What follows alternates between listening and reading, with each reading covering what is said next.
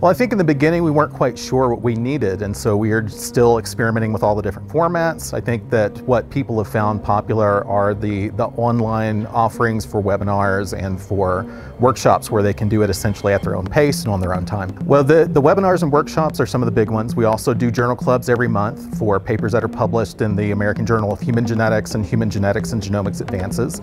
There's also a podcast that the Digital Learning Committee has run for a couple of years. It's called Genetically speaking, covers more of the people involved in the science, the background of how things are going. And we're hoping for the future in 2025 to have a spring online symposium that will be on one specific topic, but we don't have all the details nailed down yet. We have to consider what's happening at the annual meeting and also the content that we've given in the last year or two because we don't want to keep repeating the same topics.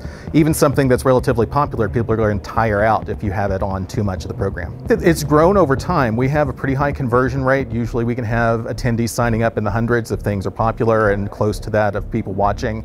Uh, we would have to go back and look and see what people are actually watching it not at time. That's just the people that are actually involved while it's actually going on.